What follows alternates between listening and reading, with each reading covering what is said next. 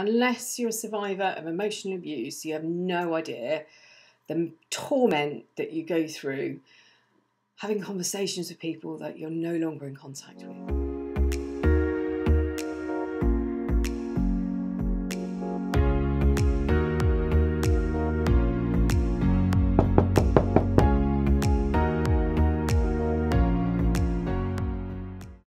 Hello, my name's Elizabeth Goddard from Revive Your Soul. So today's question is why can't I stop thinking about them? And I think I touched on it in the last video I did was why why is it so hard to get over these relationships? The there's chemical we're all a bunch of chemicals basically, and if you think about um, the reactions when you walk into a room, you might be feeling really, really happy, and everyone in the room's really sad, and they can drain your energy. And the same, vice versa, you can go in feeling really low, and people are, it's a really vibrant room. You know, if you've been to um, any conferences where they're really hyping things up and it gets your energy going, and how quickly you can change um, inside, and you can um, feel really powerful. You can literally just change the chemicals. And, and this is what's happened in these relationships. The chemical reactions that are happening within our body are trapping us and they're causing trauma within our bodies.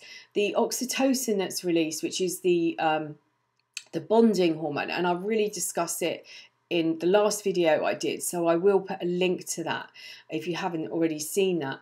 It's about this bonding how how we bond as children to our parents how we bond in relationships in team building exercises in um, events that happen. You know i've, I've, I've used um, sully which is the, where the, the plane lands on the hudson river and um, and they all bond together through this experience of of losing all their engines and this pilot manages to get the plane landed on the river this is about this bonding experience and, and knowing that they were facing danger together and then having the pilot and all the crew members making sure everybody's off safely and standing they're all standing together on this you know the wings of the plane on life rafts while they're waiting to be um, picked up. But i saw the film and right at the end he says we will be bonded together um, from the events of January 15th 2009 we will always be bonded by by this. And this is this we, a unique experience. It, was a game to them. They would they, they, it was all about gaining power and control over your life and this is why it's so hard. Your whole life was consumed by them. And it might have been early on in the relationship when you were receiving text messages or or some form of message in the morning you know so you they were the first thing you thought about. This was a tactic because they know that that that you will be the first person that they think about because you wake up to this message. But also they know that you'll be thinking how amazing they are somebody who's so thoughtful and caring that that goes out of their way to make sure that you're okay or to to to, to say like i'm thinking about you. I mean this this was possibly one text of many going out. You only have to watch uh, the series on Netflix called Dirty John just to see how manipulating it was a project. He described it as a project. He described it, um, he was using uh, a, a form of elimination to, to, to work through um, multiple dating women and working through to see what, what, what fits and what works and who was the best catch, who had the best, you know, had the best, was able to offer him the best life. You know, the fact that Debbie had a Maserati. You know, she had a really decent apartment. She had a lot of money. Um, she had her own business. These were amazing things for him uh, that that he he obviously didn't want to let go. And the things that were getting in the way were her children. Her two her which had three children, but her two daughters were the ones that were actually getting in in his way and um, and the lengths he went to to destroy the relationships with her children, the lengths he went to to um, destroy the relationship she, she had with her nephew, but in other relationships like the one she had with her mother, she he was uh, um, she saw him in a different light. She couldn't understand what other people were saying because, and neither could um, Debbie. He's well, she married him, so the wife they married quite early on in the relationship. So, but if you get a chance to watch that, just well, it depends where you are in your recovery because it could bring up triggers, but it is an eye opener. It is, um, it shows you what was going on in the relationship, and then it shows you what he was doing behind the scenes and how he got away and how he was doing it and how he, he was playing the puppet master how he was manipulating from um, situations and scenarios and how he was able to control and the things he was able to do to gain control. So he arranged so i feel like i'm doing a, a thing on dirty john but it's just it was just so fascinating and i've been talking about this for like I don't know when I first saw it last year. It turned out he found somebody, uh, somebody, a drug user, and he paid her or gave her drugs to break into to this apartment that they were renting. This and they had this amazing apartment that she'd rented because she could just pay a year up front, and she, that she did that for him because he really fell in love with it. And he gave the excuse of not being able to afford it. It was not that he didn't have any money or that he um, had just got out of prison. Um, he gave the excuse that he was paying his ex-wife for his two daughters in maintenance and and the trust was building and you could see how he was doing it but how in the last few uh, episodes they they cover how he did it and he paid this girl to break in and he had her arrested and he then manipulated the situation to have cameras put up all over this this apartment that they rented. And then he took it one further where he was able to um, convince her to have the cameras put up in the offices where she worked. So he was able to monitor her 24 7 and see where she was within the um, within the home or what she was doing at work. And he had her um, car was being monitored and he had her phone and it was just it was just very very scary. You know they they've put themselves in this place and you believe they care about you you trusted them and you handed over that trust so easily. They bonded you bonded. And this is why it's so hard to get them out of your head. You your whole life was consumed with them and then there's nothing. They just walk away and you're empty.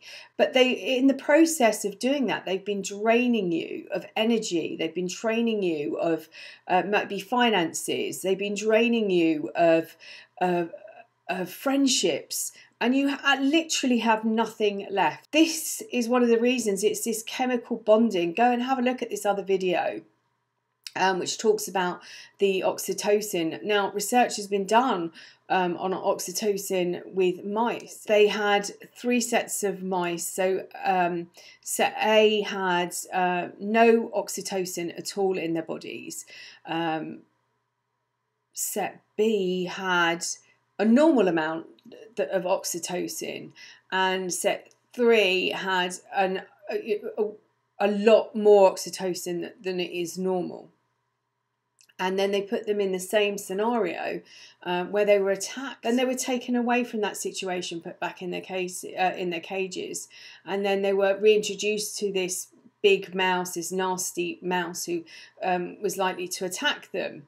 And what they found was the one with no oxytocin whatsoever they weren't frightened at all and they showed no signs of fear B, who had a normal amount of oxytocin, were um, they did show signs of fear or wariness, and um, the ones with so much oxytocin or a large amount of oxytocin um, were, were um, suffering with anxiety beforehand. Now, one of the uh, one of the hormones that I'm really interested in is oxytocin because I think it plays a, plays a really powerful role in these relationships. What it demonstrates is that when you experience trauma, that's magnified.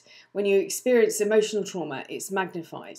And then on top of that, it's imprinted, it's as if it's ingrained in your memory further and stronger than it would have been before. So oxytocin plays a huge role in in these relationships. And we're releasing this chemical within our bodies and trusting this person that most normal people wouldn't have anything to do with. They'd walk away once they started to see the red flags. Only you possibly did see the red flags, and uh, or they were possibly highlighted to you, but you continued because you trusted this person, you bonded with this person. And this is why it's so hard to get them out of your head. The fact that the first thing you woke up to every morning was a message from them and they were reinforcing that through the relationship and they were hooking you in and bonding you.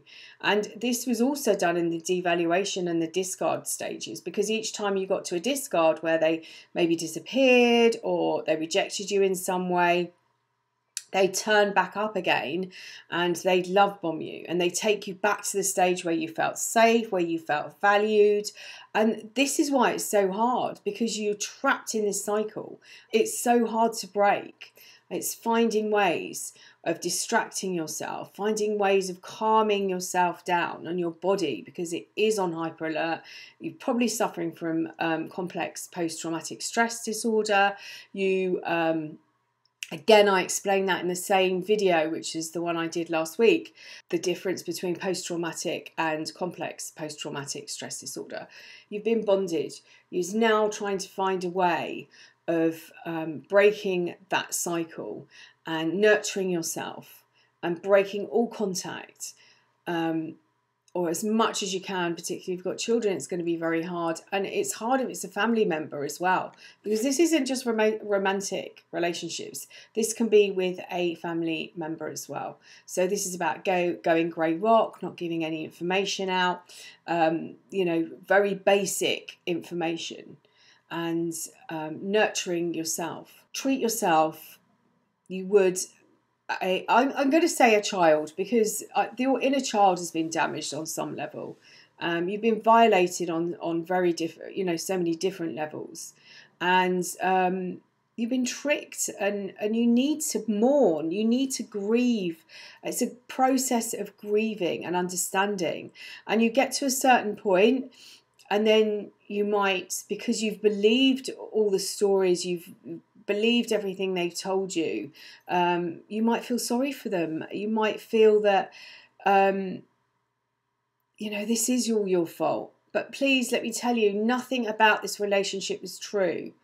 So why are you believing everything about you to be true? All those bad things they told you where you weren't good enough that abandonment this is more about them than it is about you. Some of the things that I've experienced in relationships, I know wasn't my fault.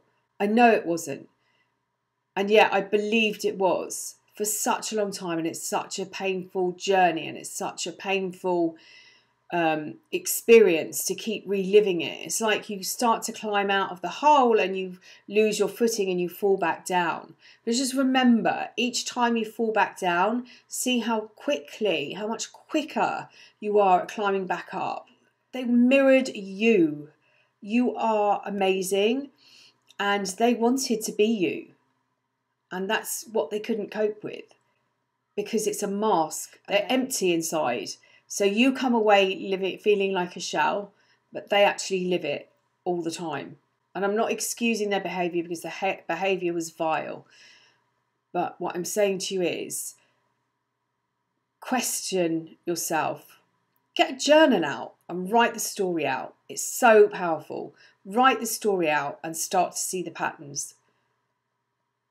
And then when you're done with that, write the story out of other people that you've had in your life as well treat yourself as if you would a young child. Put yourself to bed if you need a nap.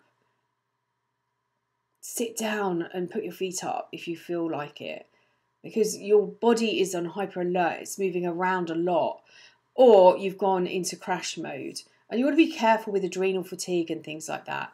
You've really, really got to look after your body now and your mind, particularly your mind. Do some meditations, find some um, guided meditations online that are free and just sit just for a few minutes and just allow your brain to calm down allow that mind to soften even if you get 30 seconds of it not chattering away. It's 30 seconds that you haven't had in a very long time. I'm sending you loads and loads and loads of love